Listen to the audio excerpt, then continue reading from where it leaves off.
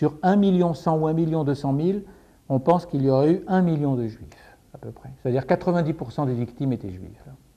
C'est pour ça qu'on dit à juste titre que Auschwitz-Birkenau, c'est le principal lieu de l'assassinat des juifs d'Europe. Pas le seul, mais c'est le plus important.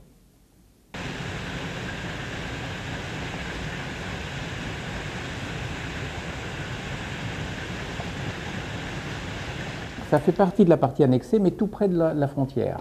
Et c'est un carrefour ferroviaire à côté de la ville de Katowice et au sud de la ville de Cracovie.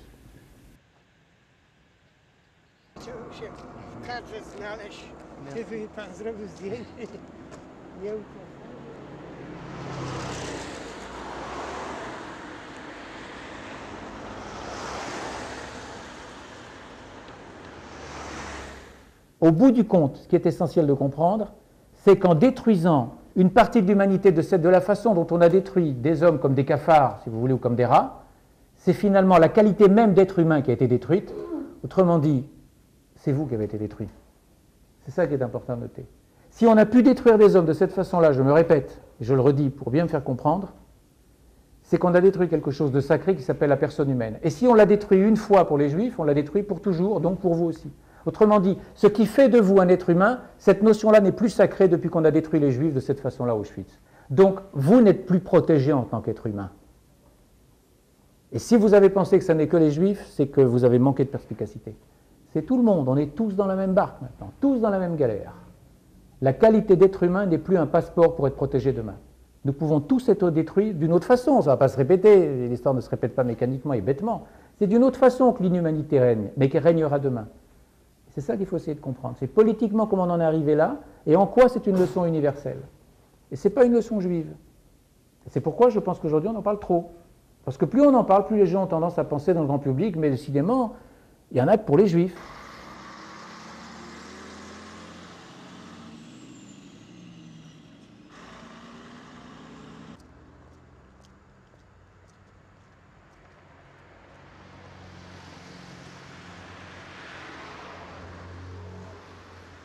Alors la conférence de Wannsee a lieu en janvier 1942.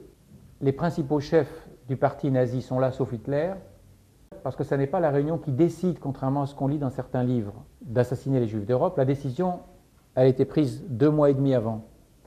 C'est une réunion qui sert à mettre sur pied, à organiser concrètement l'assassinat de 11 millions de personnes. C'est un assassinat qui est un véritable crime industriel, et un crime industriel, ça se prépare. Comment le préparer Précisément en rassemblant les principaux responsables du parti, les principaux responsables de l'État allemand, pour voir comment on va procéder. Donc Wannsee, c'est ça. Ce n'est pas la décision, c'est l'organisation du crime. La décision, je vous l'ai dit, j'insiste sur cette idée, c'est fin octobre, début novembre. Alors, le camp ici, c'est euh, sur ordre de Himmler qu'on a fait ici un camp de concentration le 27 avril 1940. Et ils se sont servis de ce camp tout simplement parce que avant, c'était pas du tout un camp de concentration, c'était une caserne militaire. Et ils se sont dit, on va utiliser cette caserne militaire pour en faire un premier camp de concentration. Et les premières personnes à venir dans ce camp de concentration, c'est d'abord des prisonniers allemands, des détenus de droit commun, des voleurs, des assassins. Et on les a fait venir ici pour en faire des capots, c'est-à-dire des prisonniers, mais qui allaient être les chefs des autres prisonniers et avoir le droit de vie et de mort sur les autres prisonniers. C'était le contrat qu'on passait avec eux. On leur disait, vous venez ici, et on vous donne du pouvoir. Et vous faites ce que vous voulez, c'est vous qui faites régner l'ordre. Bien sûr, les SS sont derrière et commandent. Mais par exemple, dans les blocs, chaque capot avait le droit de vie ou de mort sur les, sur les détenus. Donc des prisonniers allemands, mais qui vont servir pour l'encadrement du camp. Ici, il y a eu principalement des politiques polonais, des prisonniers de guerre soviétiques, des soviétiques politiques, hein, c'est-à-dire des commissaires, par exemple, des commissaires politiques. Il y a eu des juifs, il y a eu vraiment toute, une population. Et le sort entre tous les déportés n'était pas le même.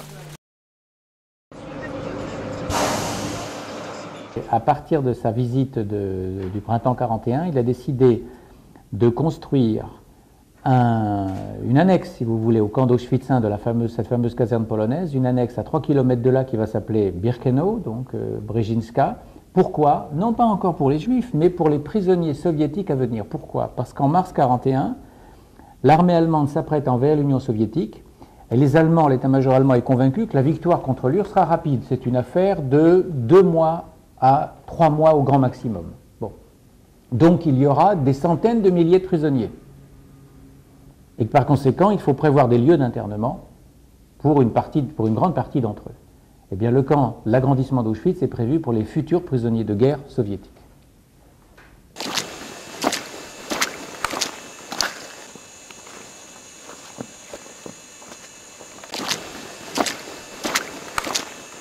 L'individu ne sait plus qui il est. Un, on l'a privé de sa famille, on l'a séparé par exemple de sa femme, de ses parents, de je ne sais pas moi s'il est venu avec ses parents ou ses grands-parents, il y en a beaucoup qui sont venus, ils ont été déportés en famille évidemment. On l'a privé de ses enfants, il se retrouve là, c'est un homme jeune, il ne sait plus où sont partis ses, parents ou sa femme, ses enfants, etc. Il se pose des questions, imagine dans quelle angoisse mortelle il est. Deux, il est déshabillé, on lui donne des, de, vagues loques qui ressemblent à peine à des habits de sorte de pyjama rayé. Trois, il est complètement privé de toute identité euh, capillaire, je dirais. Il n'a plus de cheveux du tout. Et, et, quatre, pour terminer, il n'a plus de nom, puisqu'on lui donne désormais un numéro, et que ce numéro, on va le tatouer sur l'avant-bras gauche, exactement comme une vache bovine n'importe où en France. Le tatouage sur le bras gauche des détenus n'appartient qu'au camp d'Auschwitz. Ça ne s'est fait nulle part ailleurs dans le système allemand. Tout ça s'est passé en combien de temps? 5 heures. Entre 5 et 6 heures. Imaginez le choc mental que peut ressentir un déporté qui a 20 ans, 30 ans ou 18 ans, disons 16, 18 ans, en général, ils n'allaient pas à la chambre à gaz, ils étaient directement envoyés au travail. Le sauna, c'était, vous savez, il y a tout un argot à l'intérieur du camp. Le sauna, c'était tout simplement le lieu de désinfection. N'oubliez pas que l'époux, c'est une menace de mort, c'est la menace du typhus. Et dans une telle concentration euh, humaine, il est évident que l'épidémie va très vite.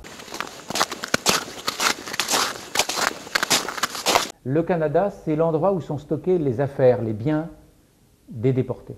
Or, des biens, il y en a des centaines et des centaines de tonnes, puisqu'ils sont venus avec leurs valises. Vous imaginez bien qu'étant déportés de France ou de Grèce ou de je ne sais où, ou de Hollande, ils sont venus en mettant dans leurs valises tout ce qu'ils avaient de plus précieux.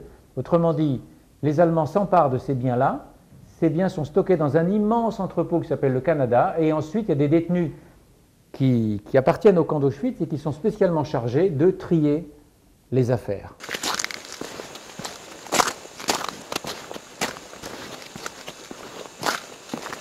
Les baraques, elles étaient soit en briques, soit en bois. Et les gens à la libération avaient besoin de reconstruire des maisons, avaient besoin de se chauffer. Ils sont venus se servir dans le camp. C'est pour ça qu'il y a énormément de baraques qui ont été détruites. Il peut y avoir 1000 à 1500 personnes. Vous prenez votre collège et vous le rentrez dans un baraquement comme ça, on vous dit maintenant, vous allez vivre là-dedans. Ces rails ont été posés par des prisonniers et des prisonnières. Et c'était un commando très très très dur qui a commencé euh, en février 44 et il fallait porter les rails d'une camarade qui a malheureusement été choisie pour ce travail et elle a failli crever, c'est le cas de dire. Heureusement qu'on a pu la faire sortir de ce commando. Il fallait porter les rails sur les épaules, c'était des morceaux de rails très lourds. Et de plus, comme il fallait poser les rails et qu'elle n'avait pas de gants de protection, euh, par la température qui faisait moins 10, moins 15 ou moins 20, l'acier était glacé et la peau de l'intérieur des mains restait collée. Euh, c'était horrible quand on travaillait 7 jours. On avait juste un dimanche sur 7, donc on travaillait tous les jours. elle n'avait pas le temps de cicatriser. C'est un commando très très dur.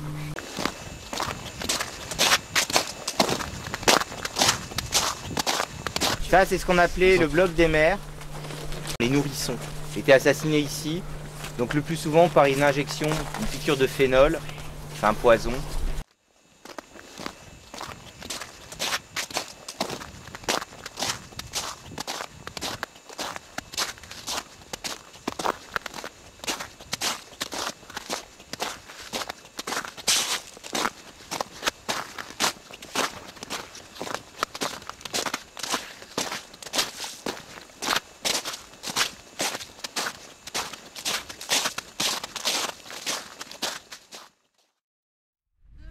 Donc on visite la troisième partie d'Auschwitz. Cette troisième partie d'Auschwitz, elle comprenait un camp et elle comprenait un immense complexe industriel. On va le longer tout à l'heure, il y en a, il y a 3 km de long. Et on le reconnaît très bien parce que d'abord il, y a plein d'usines et surtout il y a des barrières en béton tout le long. C'est une usine de caoutchouc synthétique, d'où le mot Buna. La Buna c'est du caoutchouc synthétique. Et Monovitch c'est le lieu où c'est installé tout simplement, d'où le terme Buna Monovitch. C'est une usine de caoutchouc synthétique dont l'armée allemande a besoin. Et cette usine appartient à des firmes allemandes, des firmes civiles allemandes, et en particulier euh, pour Buna Monovic, la plus grande entreprise chimique euh, d'Europe à cette époque-là, qui est l'entreprise IG Farben. Là, ici, c'est l'extermination par le travail. Mo Lévy, dont vous, étudierez, dont vous étudierez sûrement l'œuvre en terminale, que ce soit en histoire ou en littérature, travaillait ici dans ces usines. C'est une photographie aérienne de juillet 45. Ici, vous avez le camp? Ce camp contenait environ 30 000 personnes. On est à l'intersection. La route que vous voyez là, c'est-à-dire que le village ici a conservé exactement la même disposition. Et là, si vous voyez du blanc de partout, c'est tout simplement parce qu'au moment où est pris la photographie, on est en janvier 45 et il y a de la neige. Et puis les routes sont dégagées, c'est ce qui fait les traits noirs. Mais vous voyez, si on prenait cette route, on va directement au milieu du camp. La seule chose qui reste du camp, c'est ces quelques structures en béton, hein, c'est les, abris antiaériens que je vous ai montré tout à l'heure, et la disposition des rues qui est la même. Ce qu'on vous montre là, vous êtes, euh, je sais pas, on doit être 0,0001% à le voir sur l'ensemble des visiteurs. Quasiment personne vient le voir. On est sur le, site d'un camp de concentration et rien. Considérez si c'est un homme que celui qui peine dans la boue, qui ne connaît pas de repos, qui se bat pour un quignon de pain, qui meurt pour un oui, pour un non. Considérez si c'est une femme que celle qui a perdu son nom et ses cheveux, et jusqu'à la force de se souvenir, les yeux vides et le sein froid, comme une grenouille en hiver. N'oubliez pas que cela fut, non, ne l'oubliez pas. Gravez ces mots dans votre cœur, pensez-y chez vous, dans la rue, en vous couchant, en vous levant. Répétez-les à vos enfants, ou que votre maison s'écroule, que la maladie vous accable, que vos enfants se détournent de vous.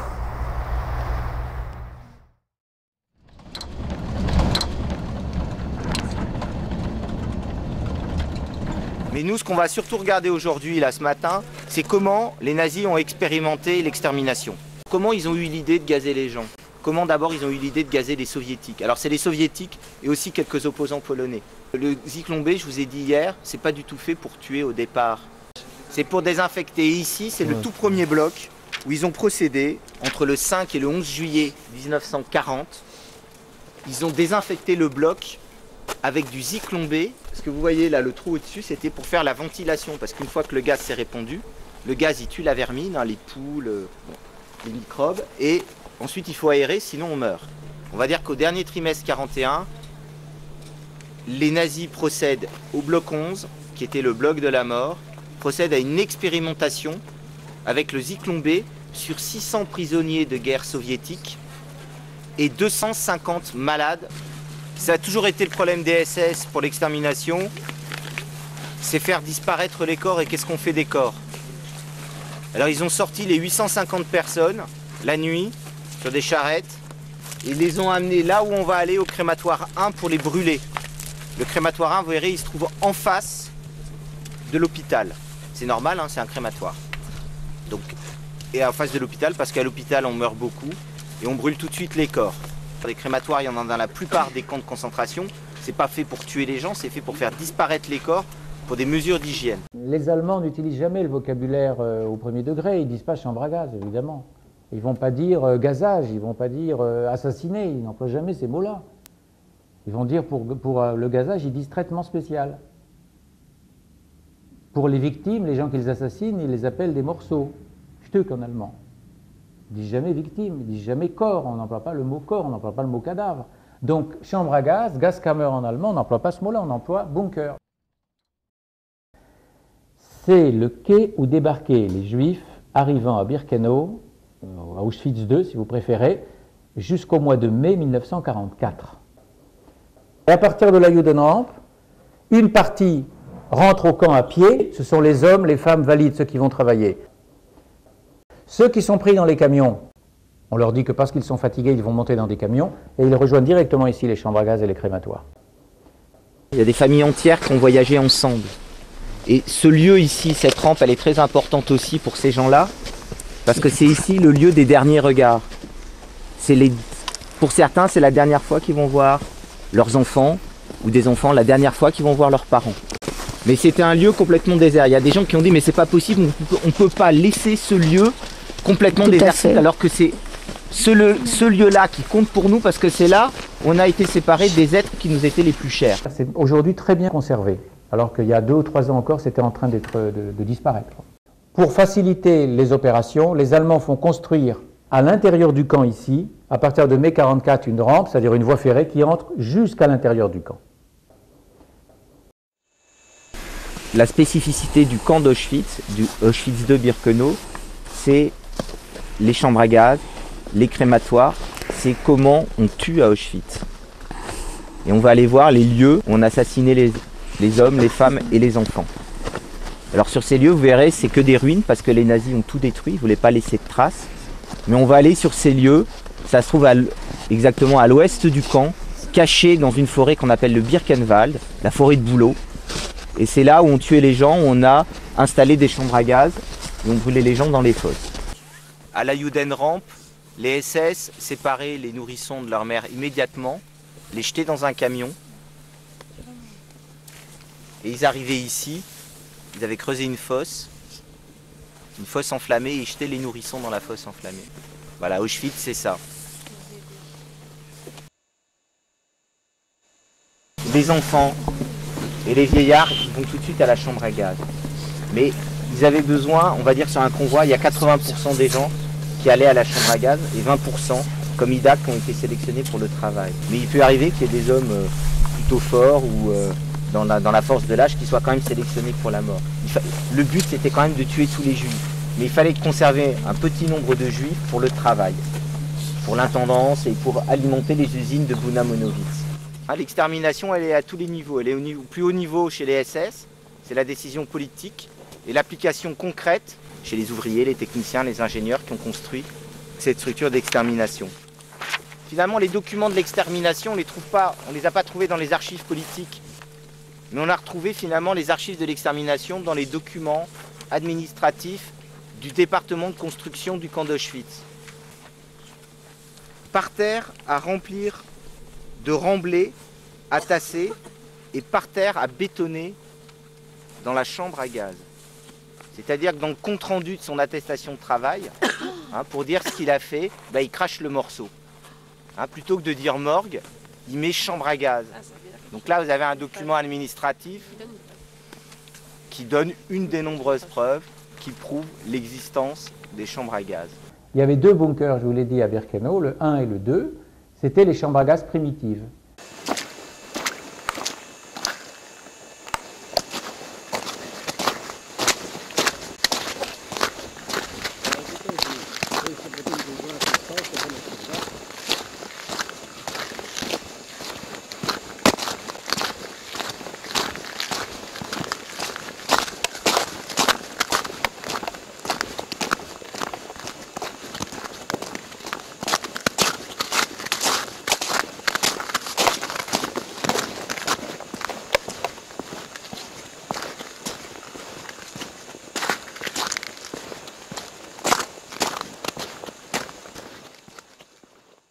Et quand on a vu que le rendement, entre guillemets, rendement n'était pas suffisant, Himmler a fait décider en 1942 de construire quatre chambres à gaz nouvelles et quatre crématoires de façon complètement industrielle, c'est-à-dire au sous-sol les chambres à gaz, immenses, complètement bétonnées, qui vont être totalement hermétiques, c'est-à-dire qu'il n'y a pas un souffle d'air qui pourra passer, sauf par la porte. Évidemment, quand la porte sera fermée, c'est comme des portes de sous-marins, c'est complètement hermétique. Et au-dessus de la chambre à gaz, vous avez donc au premier, au rez-de-chaussée, vous avez les crématoires, c'est-à-dire que vous voyez le processus industriel qui va être construit par les Allemands. Au sous-sol, on assassine par le gaz. Quand les cadavres sont sortis de la chambre à gaz, on les monte par un monte-charge, une sorte d'ascenseur, si vous voulez, immense, au rez-de-chaussée. Et au rez-de-chaussée, on les tire du monte-charge et on les enfourne dans les fours. Et là, on les brûle. Dans la tête des nazis, on va tuer les juifs comme on tue de la vermine.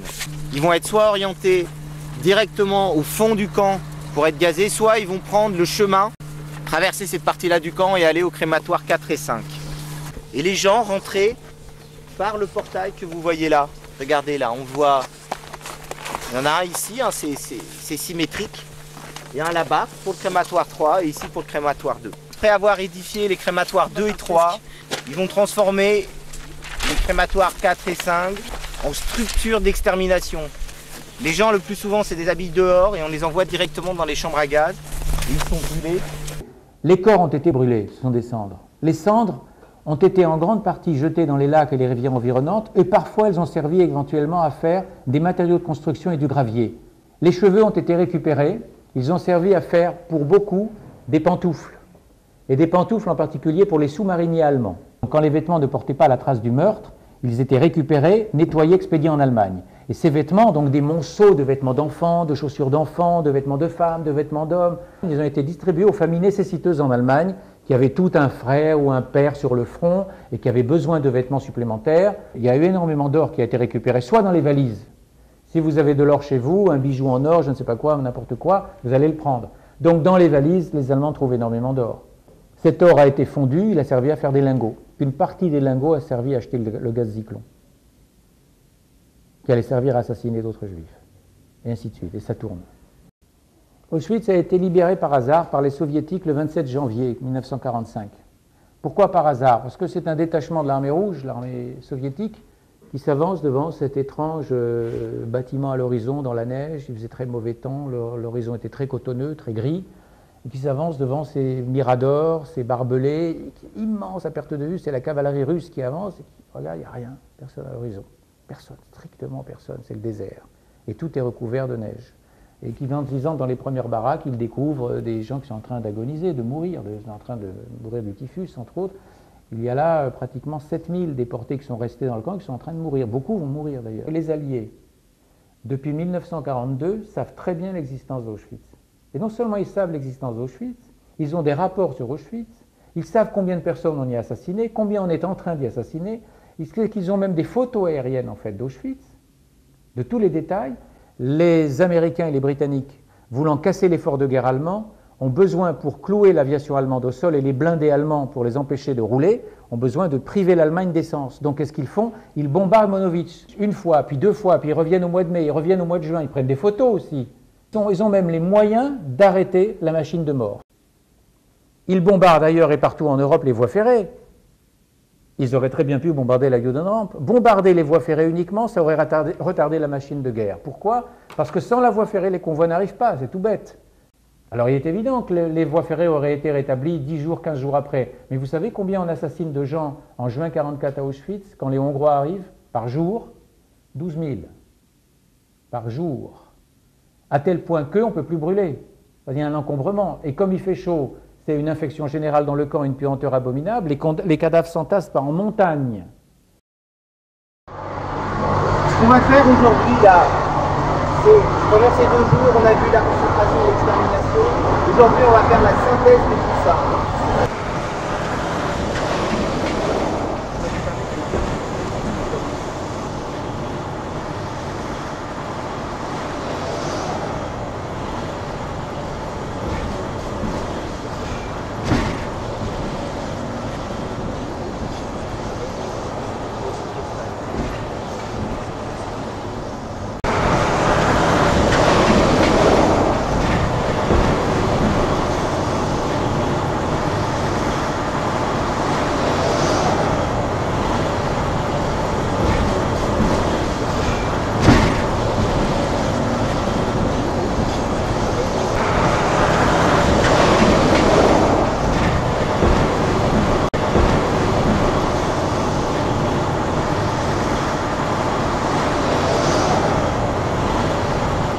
Plupart des blocs qui sont ici sont utilisés comme des blocs nationaux.